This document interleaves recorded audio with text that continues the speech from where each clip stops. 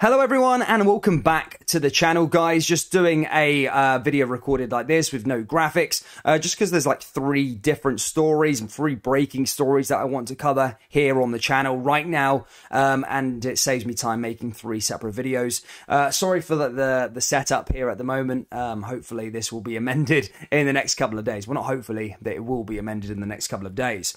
Uh, as I said guys, three uh, huge stories to talk about here in the Scottish Premiership uh, but before before we do get into video, guys, hit that like button and subscribe. The first story is that all, well, 41 out of 42 clubs have voted to implement VAR into the Scottish Premiership next season, which is massive uh, for Scottish football. Of course, a lot of been, there's been a lot of groans, um, a lot of fans voicing their opinions, wanting VAR in, and it is now going to happen next season. Uh, the SPFL uh, sort of released a statement a little earlier on uh, basically saying that they will be implementing it um, after the World Cup in Qatar in 2022. Again, look, is the SPFL running things, and usually those things don't run smoothly. Uh, and you know why they're implementing after the World Cup. So basically, to summarize, uh, the start of next season is going to have no VAR. Uh, they're going to have the break, and then the, the second half of the season will have VAR. Again, to speak to keep the integrity of the competition, I thought maybe they should probably implement it at the 23-24 season, just so we don't have a, a, crazy season where half the season's got no VAR and the other half of the season has got VAR. But look, as I say, um, it wouldn't be the SPFL if uh, things the things were running uh, plain sailing. But basically.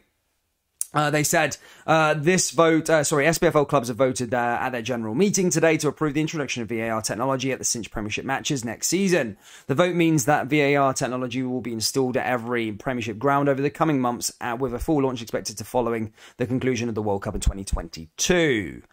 Um, they went on to sort of talk about the total costs of the introduction of VAR, uh, basically saying it will be 1.2 million pounds per season, following an independent financial review and the costs and benchmarking exercises carried out by the European leagues.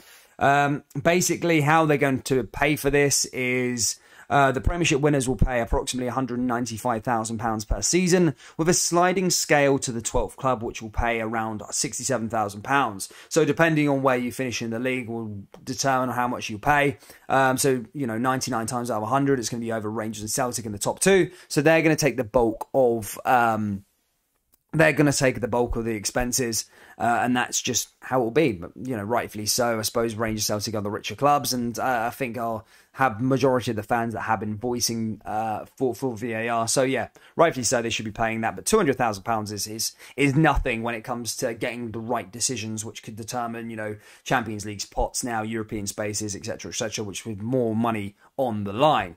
Um, so yeah, there you go, guys. That is that. Uh, the SPFL will implement uh, VAR next season, and it will come after the Qatar World Cup. So we're going to have half a season without it, and then the other half with it.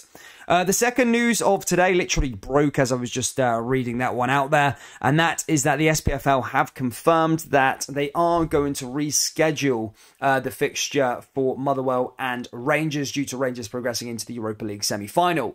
Um, a lot of fans didn't have hope for this, well, a lot of Rangers fans didn't have hope that the SPFL would reschedule uh, said match um, due to you know 2008, 2003 being the um, the stories where both Rangers Celtic got to the final of a European competition and the SPFL didn't help out whatsoever.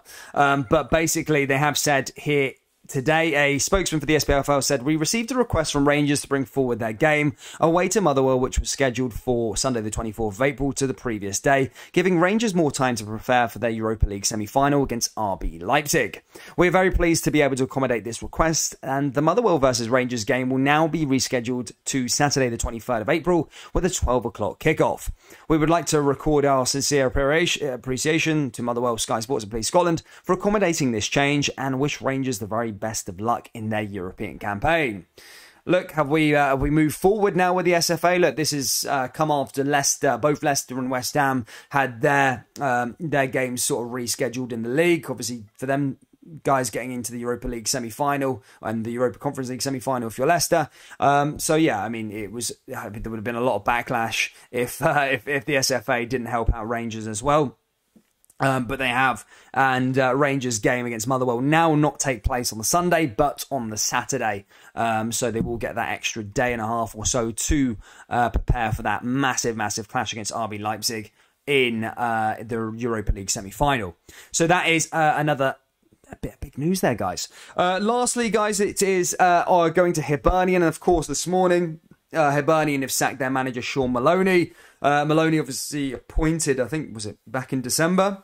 Spent a bit of money in January as well. Again, I'm not for managers getting dismissed this earlier on. I don't think um, you can really gauge someone right now. I thought Shaun Maloney did did fairly well, particularly uh, in in the bigger games. But look, um, again, he's not, he's not been given the time. This is just the day and age now with management. Um, and Hibs basically confirmed on their website, they said in a statement, Hibernian FC can confirm that Shaun Maloney has departed the club as first team manager. Gary Caldwell, uh, Zidoulis, and Brian Dogan have also left with immediate effect.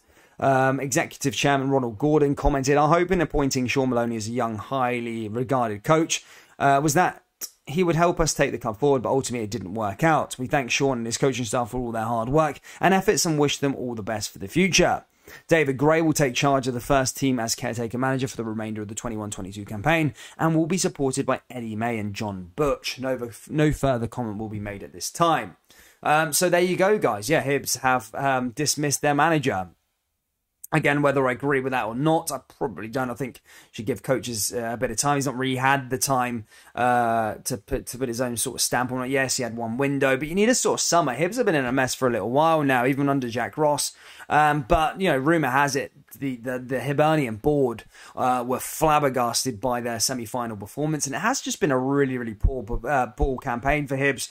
I remember staying at the start of the season um, I expect Hibs to build upon what they did last year. They had a really good campaign, sort of kept their players, didn't sell anyone like your Doigs, Porteouses, uh, Nisbets. Of course, they got rid of Boyle, but the, the, the problems had started before Boyle had left anyway. So, um, yeah, I mean, look, they need to get it right. It has been really, really poor. You know, finishing outside the top six is is a dismiss uh, is is a sackable offence, and of course, um, you could they could have salvaged their season by getting to the final, but obviously weren't able to do that. And uh, yeah, now he's uh, now he's sacked. Shaun Maloney. I mean, uh, rumor has it Kevin Thomson uh, may be appointed next. Obviously, done a great job at Kelty Hearts. Uh, highly regarded as a, as a coach. Um, a lot of people talk very, very highly of him. Obviously, an ex Hibernian player.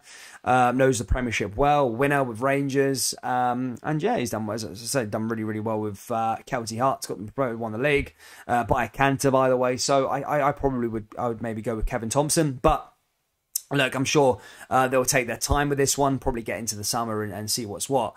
Uh, but guys, that brings us to the end of today's um, big SPFL news video. Um, as I say, three massive talking points there. Guys, get your thoughts and opinions on VAR in the Premiership, firstly. Secondly, um, the SFA rescheduling Rangers fixture. Was that the, the right thing to do or not? And uh, lastly, what are your thoughts on Hibs sacking Shaun Maloney and who you think will be appointed next? Thank you so much, troops. I'll see you all in the next video. Take care. Peace.